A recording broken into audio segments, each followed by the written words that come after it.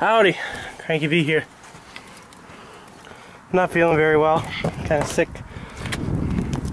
I've got the day off today.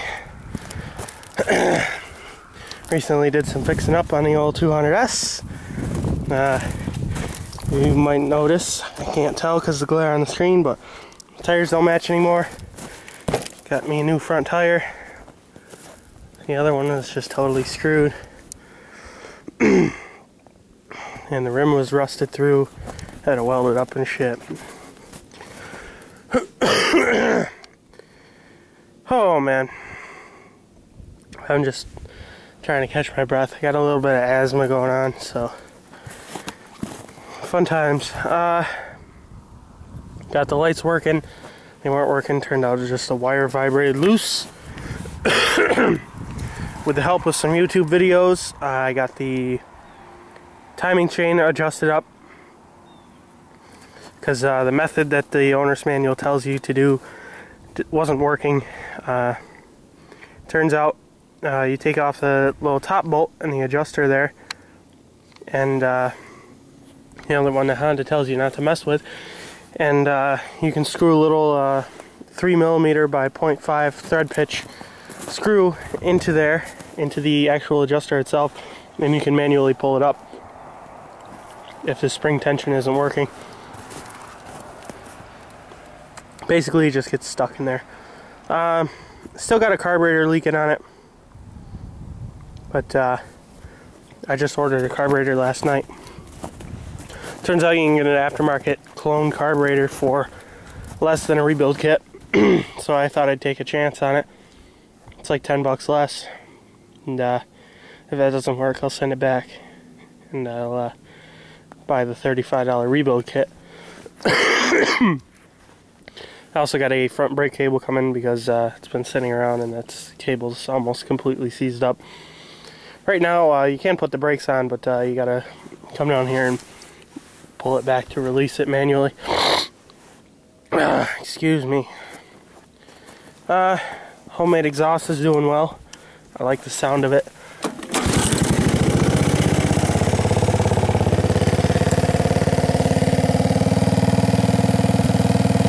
running pretty well.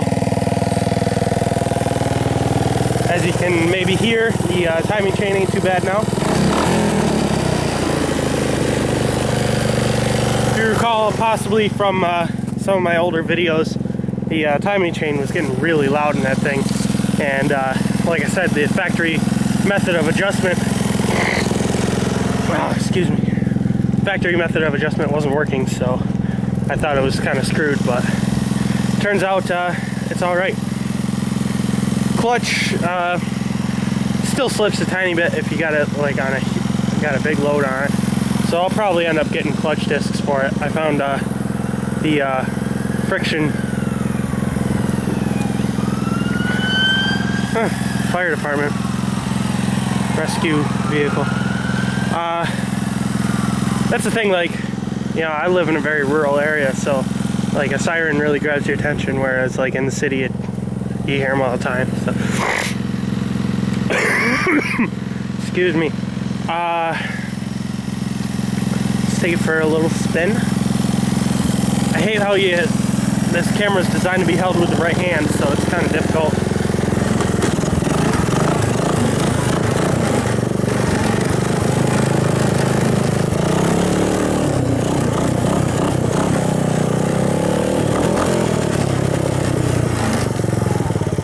found my uh, trash can. So I gotta dig that out. I thought it was lost forever.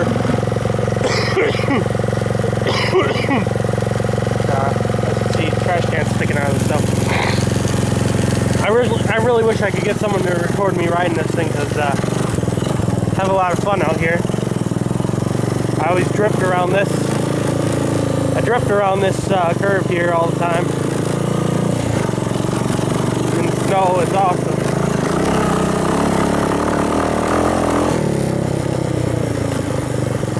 some donuts down here.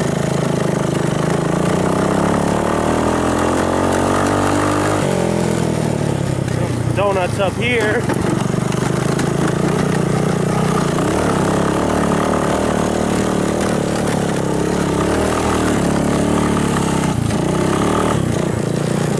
Difficult to get through there with driving with one hand. Sink down a little bit there.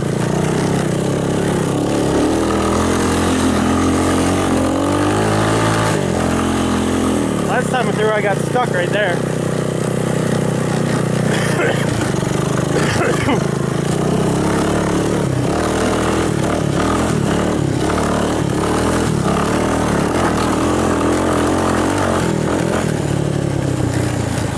Good times.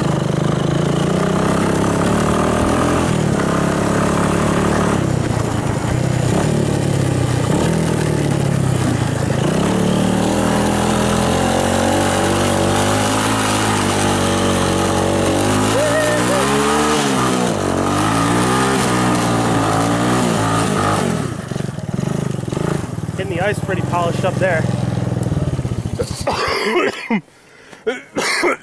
Fuck. Ah, sorry about that. So, uh, yeah, she's running pretty well, even though uh, carburetor is flooding over a little bit. I'm so sorry. Feeling awful today. but I thought I'd make a video since I got the day off. I made another video. I'll probably end up uploading this one first. The other one, uh, I was starting to say that it was the first video of 2013, which I guess isn't true if I upload this one first, but whatever. I didn't do a last video of 2012 just because I just don't give a shit. Uh, I gotta lube that chain up. I never did that since I got it out. The fucking thing was uh, was buried over there in the snowdrift, and I dug it out and pulled it out, and I gave it a little shot of ether, and it fired right up. Good old reliable Honda. I can't say much for their cars.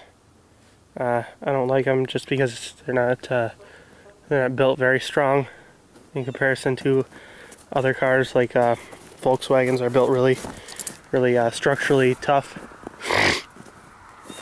But uh, the Hondas are kind of weak in that respect.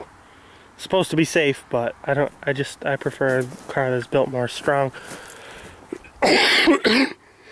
Excuse me. But uh, they're off-road equipment. Honda kicks ass. Uh, very reliable, very powerful. I kind of like the Yamaha stuff too. Uh, as far as three-wheelers go, I ride red. Honda's number one.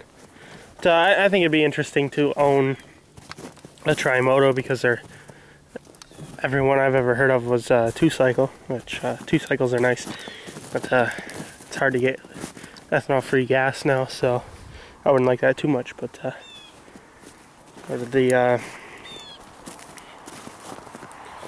when I got the uh, 250R or 250X or some shit, Honda's got a two cycle one that's pretty awesome. I, I like the two cycles because uh, they have a unique sound and they're the uh, power band is awesome. but the four strokes are nice and torquey, so uh, can't complain. Oh my god, I'm so sick. Uh, so I guess that's about it. Uh, this light bar is kind of screwed. It's got a, uh, few resistors that burnt out because uh, this has got no voltage regulator, and it got a little bit of a voltage spike when the headlight wire came loose. So it's burnt some of them out. But uh, some of those are still working. Some of those LEDs are still working. I got a, I got a, like a Dodge taillight that uh, I want to do something with. Oh shit! I gotta build a new bridge rectifier. I forgot to tie that up and I lost it somewhere in the snow. Fuck, can't laugh. Uh, I lost it in the snow somewhere. I'll probably never find it. Unless it's right around here where I was doing donuts. But uh, I probably lost it a couple days ago, so it's probably screwed. I just had a little uh, RadioShack bridge rectifier and a little uh, battery box all wired up in there, and uh, it's gone now. But uh, that's not a big deal. There's those things are really cheap, and uh, I want to build another one with a uh, voltage regulator in it, so it will keep that keep that from burning out. I bought a voltage regulator when I did that, but I just, I don't know, I just didn't feel it necessary or something. Oh, I just didn't think it worked. I gotta try it because uh, the input voltage might have to be a little bit higher for the voltage regulator to work. So it might not work. Eventually I'd like to I just I lost the little clips that hold the original headlight in there. That's all it's all that I need and a bulb and uh, get an original tail light. And maybe wire them in with voltage regulators so they won't blow out because that's uh they regulate it with the load of the two bulbs and when one of them blows out then the other one goes and then you got no lights and that's what happened on here and that's why they're all rigged like that but, uh, anyway rambling on people like the uh, Honda three-wheelers so thought I'd make that video. I ought to start that thing up see if it stalls out again. I don't think it will. I think the uh, injector cleaner is doing its job. Uh, anyway I guess uh, Goodbye for now.